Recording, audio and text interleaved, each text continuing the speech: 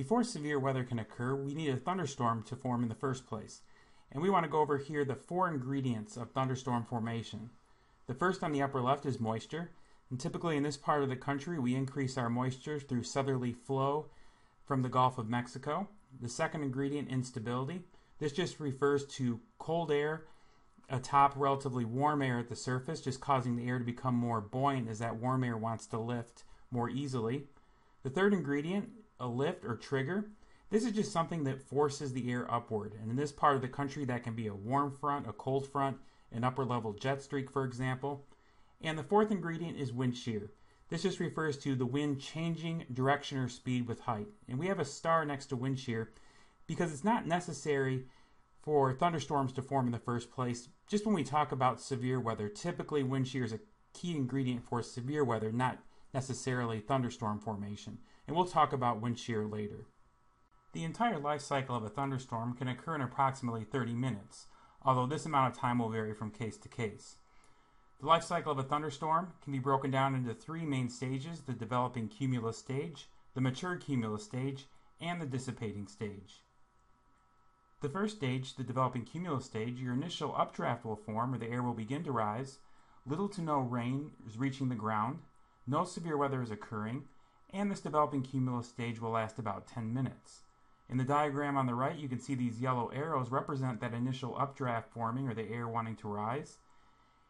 The purple dashed line represents your freezing line. You can see much of that updraft is below the freezing line or warmer than, than freezing. So you really don't have any evidence here of any precipitation falling from the base of that cloud.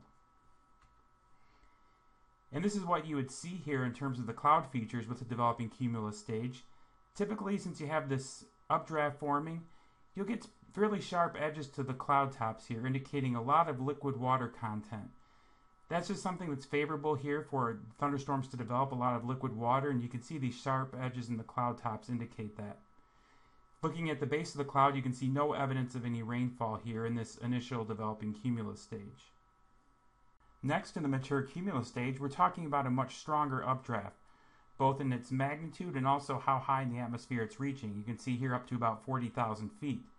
And this stronger updraft will support more rainfall, and that rainfall will reach the ground in the mature cumulus stage. That rain, which forms in the upper levels of the atmosphere, that rain cooled air becomes so heavy that the weight of it can no longer be supported and the rain just comes to the ground. And we also get a downdraft form from that rain cooled air, which eventually hits the ground and spreads out in a radial direction. And this blue line here represents a mini cold front. That's just the leading edge of that downdraft rain cooled air. And this stage can last about 10 to 20 minutes, the mature cumulus stage. And in this stage, we can have uh, much of our severe weather occur, both in the form of damaging winds from this uh, downdraft rain cooled air and also large hail. This updraft um, can support large hail formation. So the fact we have this updraft and downdraft together, we can pretty much support all modes of severe weather. If you were looking at a distance uh, from this storm in the mature cumulus stage, this is, might be what you see. This storm much more vertically developed. You can see very sharp edges to your cloud tops in this case, since our storm was, uh, the updraft is above the freezing line, you can see that this is probably indicative of a lot of liquid water, supercooled water, and ice in the storm. And looking at the base of the cloud here, you can see more evidence that you probably have precipitation falling from the base of that cloud. The third and final stage is the dissipating stage. In the dissipating stage, the downdraft becomes strong enough where the updraft can no longer be sustained. So we're typically talking just downdraft at this point. And the threats at the dissipating stage include minor wind, heavy rain, and lightning. We don't list hail as a threat at this stage because hail really feeds off that updraft, and that's been dissipating by now.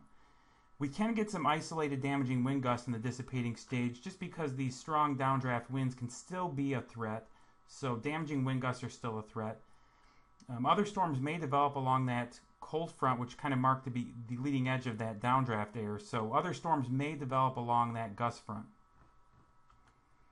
And if we were looking at a storm going through the dissipating stage, one thing to really notice here is that these cloud tops, which look so sharp, indicating liquid water, supercooled water, and hail in the earlier stages, now we have a more frayed appearance, more of a fuzzy look to the cloud tops, indicating not as much liquid supercooled water, or ice in the storm.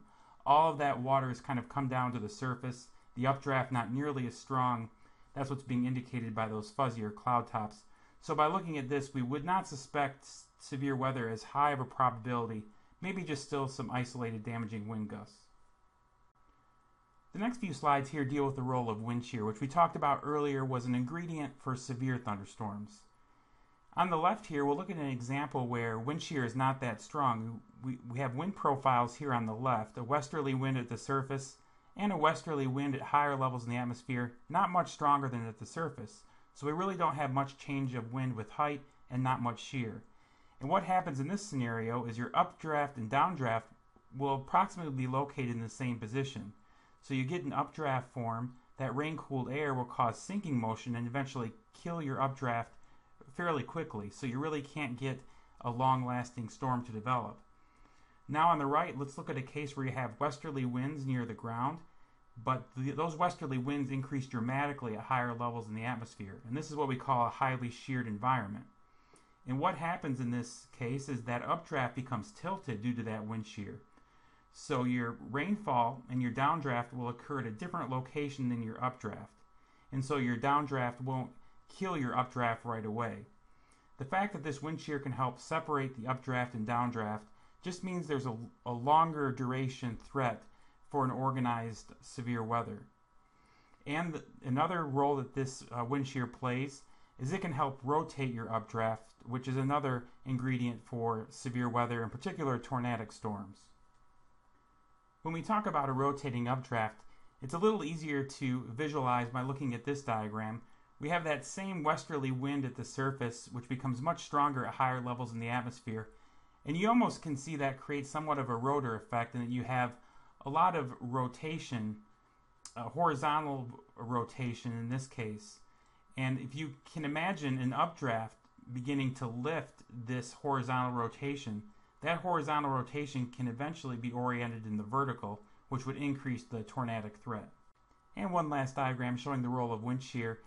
In a conceptual model of a thunderstorm, here you can see your your wind shear profile on the left here, an easterly wind at the surface, and a strong westerly wind in the upper levels of the atmosphere, indicating a high amount of wind shear. And so your updraft and downdraft in this case will be separated due to the high amounts of wind shear. And again, the fact that you have these updrafts and downdrafts separated, that just allows for a longer duration severe weather threat.